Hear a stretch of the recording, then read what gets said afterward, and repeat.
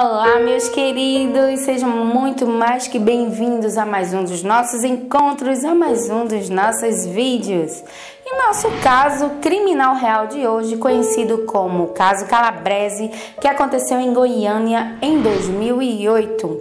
O caso foi repercutido exaustivamente pela mídia, onde uma empresária chamada Silvia Calabrese ela deixou em cárcere privado e escravidão uma menina que naquela época tinha 12 anos e essa criança foi resgatada pela polícia na casa onde ela deveria ter sido acolhida, mas ela foi escravizada e aterrorizada durante dois anos, além de ter sido obrigada a comer fezes, beber urina e a comer baratas. E aí, já se inscreveu no nosso canal? Não? Então eu vou fazer um desafio. Você assiste o nosso vídeo até o fim e se você gostar, você deixa seu like, se inscreve no canal e compartilhe o nosso vídeo nas redes sociais. Vai lá, ajuda o nosso canal a crescer e sem muitas delongas, puxa a vinheta.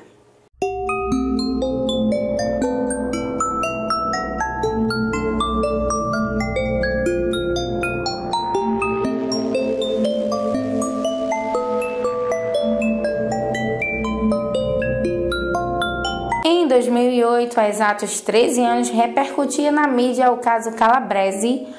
Uma denúncia anônima livrou uma menina de 12 anos das torturas a que era submetida diariamente em Goiânia. Onde uma ex-empresária, ela torturava crianças em um duplex em uma área considerada de classe média alta. E através de denúncia anônima, agente de polícia chamada Jussara de Assis adentrou nesse apartamento e se deparou com uma das cenas mais chocantes de sua vida, dignas até de um filme de terror. Ela encontrou uma criança de 12 anos amordaçada e acorrentada a uma escada de ferro. Essa criança, o nome de Lucélia Rodrigues da Silva. E essa criança também estava amordaçada e os seus pés não tocavam o chão. Ela estava de ponta de pés. E além da mordaça de esparadrapo, dentro da boca dessa criança existia um pedaço de fralda velha que estava embebecida com pimenta para que ela não pudesse salivar ou pedir socorro. Além disso, os seus dedos das mãos e dos pés estavam quebrados. Oito dedos das mãos estavam quebrados e nesses dedos as unhas estavam todas arrancadas. Era o tempo inteiro amordaçada e ainda uma colocava uma gase dentro, dentro da, da boca. boca. Não era nem uma gase, era uma fralda velha. Um pedaço de fralda velha. Estava dentro para ela não salivar e para a gás não sair, para ela não gritar. Segundo algumas informações de algumas testemunhas, a jovem Lucélia Rodrigues da Silva não foi a única vítima de Silvia Calabrese. Silvia já tinha torturado naquele apartamento mais duas crianças e as suas vítimas sempre provinham de algum círculo de amizade com Silvia Calabrese. Lucélia era filha de uma ex-empregada de Silvia. E a mãe de Lucélia era manicure em um salão de beleza frequentado frequentemente por Silvia Calabrese. No começo, as duas diziam que Silvia era muito simpática e sempre convidava as duas para ir até a sua casa e também para conhecer o sítio da família.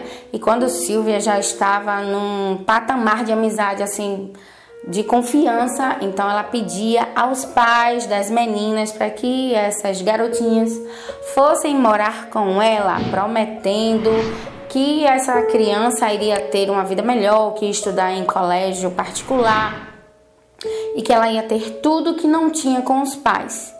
E Silvia também fazia de tudo para agradar a criança, a ter sua confiança e prometia escola particular, brinquedos, roupas, tudo que a criança não tinha em casa. E foi isso que Silvia Calabrese prometeu a Lucélia. Em uma das conversas que Silvia teve com Lucélia, Lucélia informou que gostaria muito de ser policial.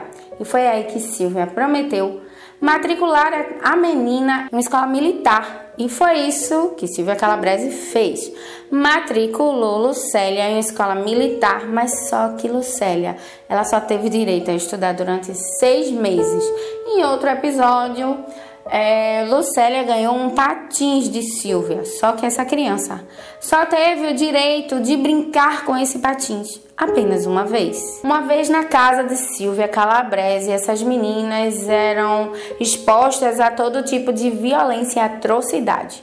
No caso de Lucélia Rodrigues da Silva, a garota ela foi obrigada a ingerir fezes de uma cachorrinha e a lamber a sua urina e a comer barata. De acordo com Lucélia, esse tipo de castigo era frequente e não tinha um motivo. Mas o que mais despertava a ira desse monstro era quando essa garota, essa criança, ela pedia comida, ou ela chorava ou queria falar com seus pais. Segundo informações do inquérito, Silvia apresentava sérios problemas psiquiátricos e ela não demonstrava em nenhum momento arrependimento em ter maltratado essas garotas, pelo contrário, ela sentia realmente era um prazer. E graças à denúncia anônima, esse monstro foi descoberto. A primeira vez que Silvia castigou Lucélia, ela trancou a garota dentro do banheiro e deixou o dia todo de castigo. No outro dia, Silvia Calabrese levou novamente Lucélia até o banheiro, só que dessa vez bateu na criança com um cinto. Ela sempre apanhava por conta de sono.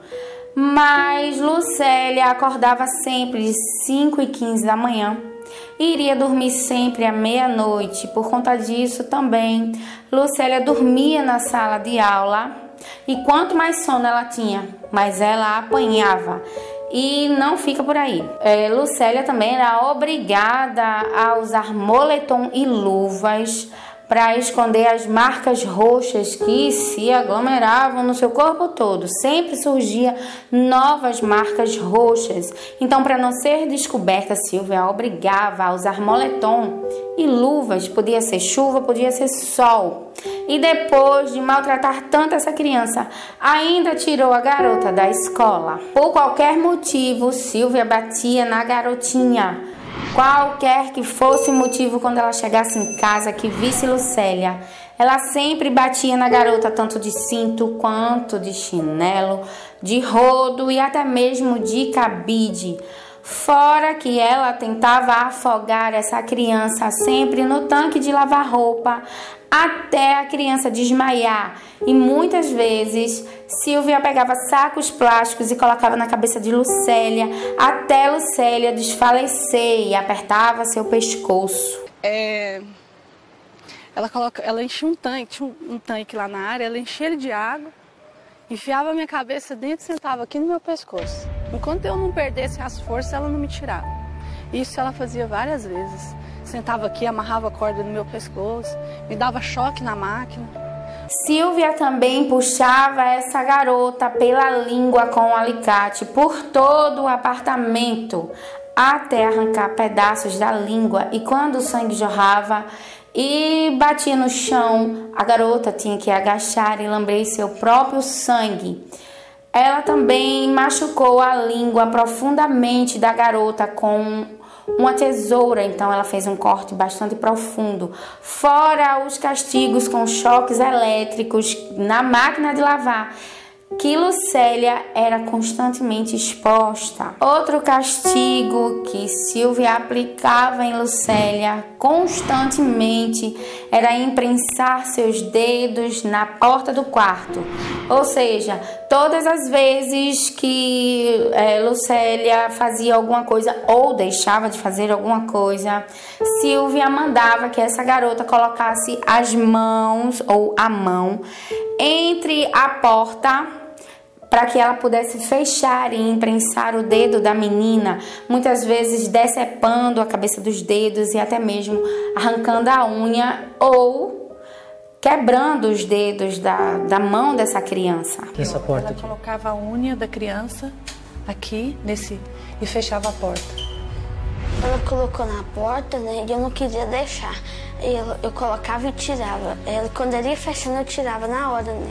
Aí uma vez eu coloquei, ela puxou a porta de uma vez, arrancou o dedo e unha, tudo de uma vez. É, parece que cortou até a ponta dele, né? Cortou. Uhum. E, e, e essas outras aqui foi tudo da porta? Foi tudo da porta. Além dos choques elétricos, de decepar a cabeça dos dedos ou até mesmo quebrar os dedos da garotinha, Silvia colocava pimenta nos seus olhos, no seu nariz e na sua boca, além de amarrá-la e amordaçá-la. A pior coisa era comer cocô de cachorro, lamber a sorina e comer barata. Silvia fazia isso como uma espécie de castigo e dizia a seguinte frase: Vou lhe dar um remedinho. Pode colocar o remedinho de novo na boca. E a menina colocava.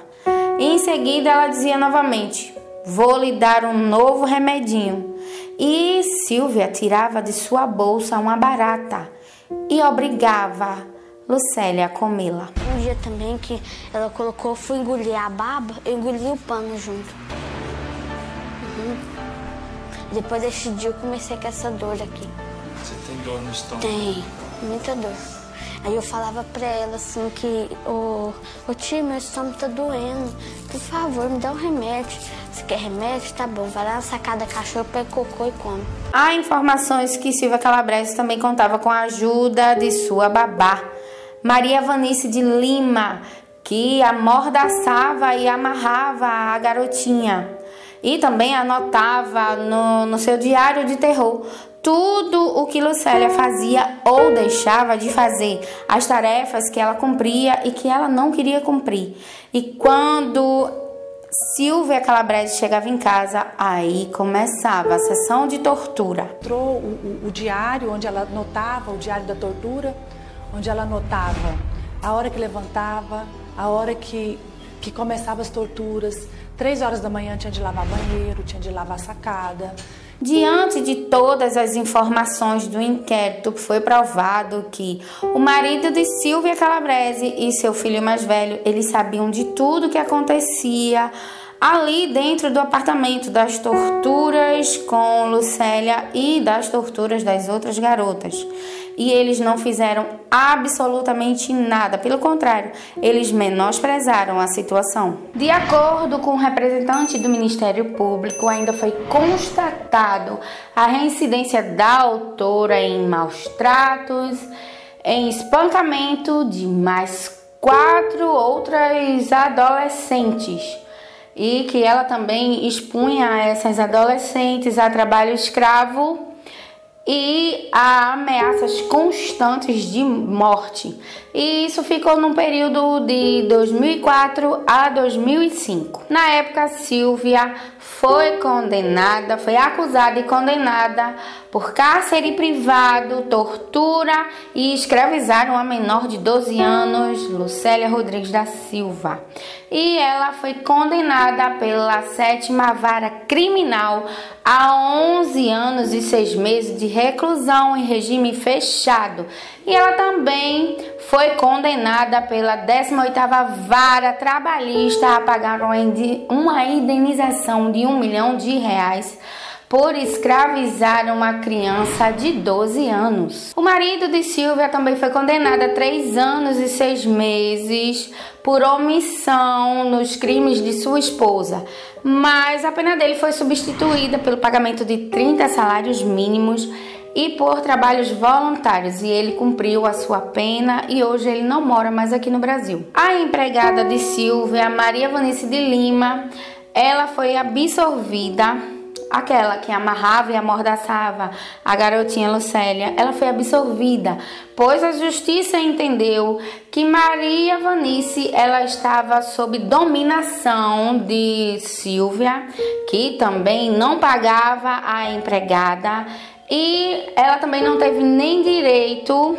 a descansar após a sua a sua gestação e após o seu parto, ela não teve direito nem sequer ao período de descanso. Silvia apresentou boa conduta no sistema prisional E em 2014 a justiça concedeu o direito da progressão de pena e ela foi transferida para o regime semiaberto. Após as agressões sofridas, Lucélia foi parar em um abrigo para crianças que foram maltratadas. E depois ela foi adotada por um casal de pastores. Hoje, ela é casada e tem dois filhos e fala abertamente sobre perdão que ela perdoou Silvia. É uma história realmente edificante que começou com os maus tratos e terminou com um final feliz. E também Lucélia fala sobre os seus sonhos que foram todos realizados. Hoje ela também dá palestras em escolas, em eventos e em igrejas. Uma história totalmente triste e edificante ao mesmo tempo. Lucélia também fala sobre o perdão que deu a Silvia na seguinte frase: Perdoar, perdoei. Mas perdoar não é esquecer, é escolher seguir em frente, é escolher ser feliz. E ela segue pelo Brasil como missionária e conta para todo mundo a sua história e até escreveu um livro. E esse livro com certeza consegue edificar vidas. E é realmente uma história surpreendente, onde uma menina conseguiu realmente vencer tantos maus tratos, tantas coisas ruins que aconteceram, uma realmente infância perdida. Foi escravizada, torturada, amordaçada. Ela teve toda a sua infância realmente tomada por um monstro chamado Silvia e não se sabe até hoje como essa mulher se encontra, né? Essa Silvia. Sabe-se que a Lucélia hoje vive muito bem. E eu realmente eu admiro a história dela, uma história bonita, uma história realmente que faz a gente pensar que monstros são reais. E os monstros eles podem estar realmente bem próximos da gente. Pode ser um amigo, um vizinho. Então, trazendo mais uma vez uma história que aconteceu há 13 anos atrás para a nossa atualidade. Porque os pais de Lucélia é, eles não foram legalizar a adoção.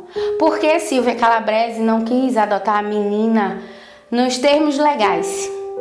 Ela já tinha tudo esquematizado, pois já era acostumada a maltratar outras crianças e Lucélia. E essa menina, a Lucélia, foi mais uma de suas vítimas. Então fica aí mais um apelo. Cuidado com as nossas crianças. Várias Silvias Calabreses estão soltas pelo mundo e não queremos mais vitimar nossos pequenos. Então vai mais um apelo aqui do nosso canal. E se você gostou do nosso vídeo, desse assunto edificante, que realmente foi um crime que aconteceu em 2008, mas que trouxe é, para nossa realidade um apelo e trouxe também um final feliz pra gente. Se você gostou, então você compartilha nas suas redes sociais, tá bom? Ajuda o nosso canal a crescer. Então, nosso encontro fica para o nosso próximo vídeo e eu te espero. Então, agora eu fui. Tchau!